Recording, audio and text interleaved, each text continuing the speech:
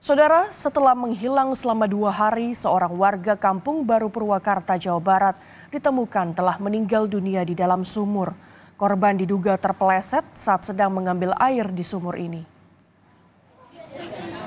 Korban pertama kali ditemukan oleh tetangganya yang curiga karena tidak terlihat selama dua hari di rumahnya.